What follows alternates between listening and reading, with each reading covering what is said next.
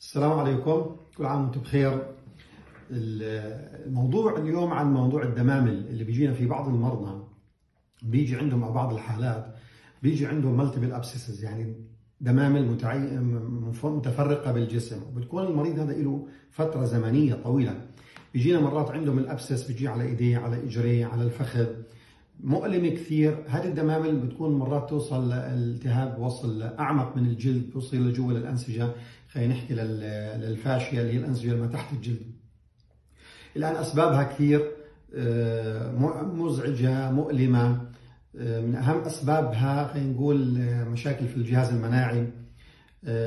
عند كثير من الناس اللي عندهم سكري اللي بدخنوا خلينا نقول الناس اللي عندهم مشاكل اضطراب جهاز مناعي. طبعا هي عبارة عن إيش؟ عبارة عن التهاب في منطقة معينة تحت الجلد أو في الجلد. هذا الالتهاب بصير فيه إحمرار وبصير فيه بكتيريا ميتة وبصير فيه كرات دم بيضاء ميتة فبصير فيه الصديد أو الدمل هذا اللي بنسميه إحنا. الآن إيش إيش المناسبة؟ ليش أنا بحكي موضوع الدمامل لأنه بيجونا مرضى كثير في عندهم حالات متكررة زي هيك. أدخلنا على البرنامج العلاجي تبع المرضى اللي بيجي عندهم recurrent abscesses اللي هو البرامج العلاجية الضوء أو العلاجات الضوئية. طبعا إحنا كجراحة عامة أو اي طبيب لما يجي مريض عنده دمامل كثير اللي بصير إنه إحنا بنفتح الدم هذا بنطلع الصديد بنغسل بننظف وهذا الإجراء الروتيني اللي لازم ينعمل.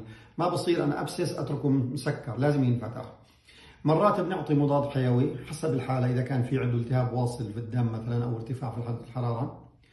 آه، زائد إنه إحنا آه، بنصير نعمل غيرات يوميا. الآن جديد صرنا أو من فترة من عدد سنوات صرنا ندخل ضمن العلاجات اللي هو ال multiple abscess هذول بعد ال incision وال drain بعد ما نفتحها نعمل لهم جلسات ضوئية. بنستخدم الضوء المستقطب بنستخدم الضوء الأحمر أو ال infrared لقينا إنه في نسبة كثير منهم بتقل احتمالية إنه يرجع ال abscess هذا خاصة لما يكون ال abscess تحت الأباط أو لما يكون بالأطراف. فبتقل نسبة أو بتزيد نسبة الالتئام وبتقل بشكل كثير آه، نسبة رجوع هذه الدمامل.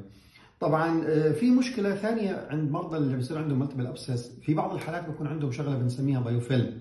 ذكرناه في محاضرة من المحاضرات إنه البكتيريا نفسها اللي هي ال staph وال strepto بيعملوا نوع من أنواع اللي هي ال colonies المستعمرات. وبعد فترة هاي المستعمرات بتنتقل في الدم وبتروح في أماكن ثانية فبتلاقي المريض عنده دمل مثلا في الساق. بعد شهرين ثلاثة أجاك عنده دمل في الذراع أو بالبطن أو بالصدر. فلقينا إنه استخدام الضوء بشكل عام بيقلل من احتمالية ال migration هاي أو الهجرة تاعت هذه ال biofilm. لأنه أنت بتفتح الدمل بتنظفه بتعمل جلسة ضوئية مباشرة بتعزز الجهاز المناعي آه، بتقلل احتمالية إنه البكتيريا تنتشر.